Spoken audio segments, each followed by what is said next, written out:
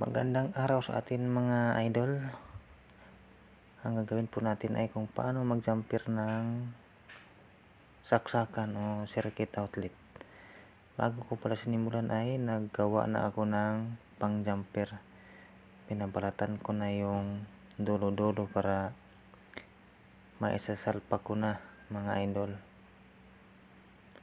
Ayan. Yan po ang pang-jumper natin mga idol para magkaroon ng supply yung kabilang saksakan. Yan, pagka salpak din ng ganyan, kailangan natin i-diin. Yan, para hindi siya maglulos.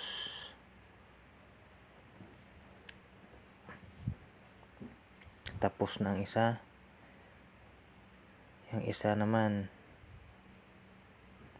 ang pang jumper natin. Yan.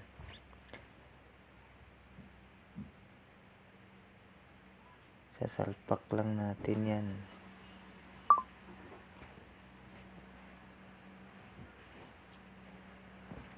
Yan, para mahigpit.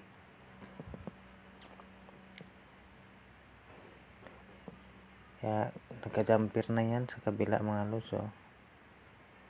Magkakaroon na ng supply yung kabila nating saksakan.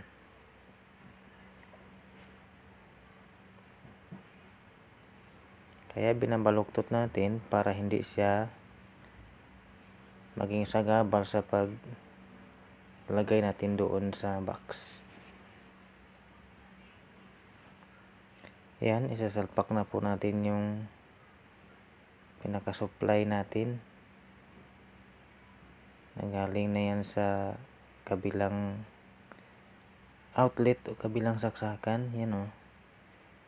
Line 1, tsaka line 2. Yan. Para mahigpit, yan. Tapos may jumper na siya.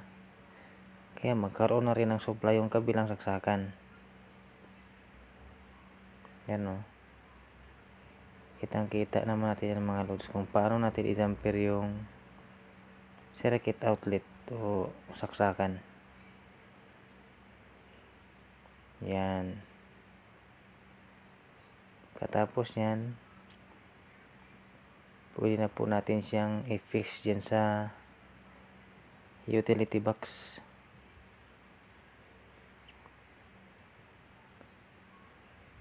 Andiyan na yung screw niya. Yan, ipipix na yan.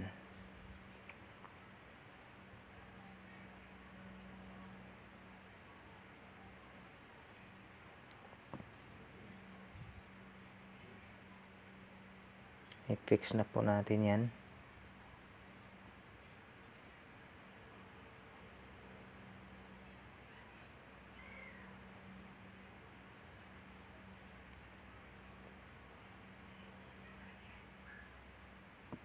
Sa kabila naman ng screw. Pagka na-fix natin, yung takip na lang mga idol.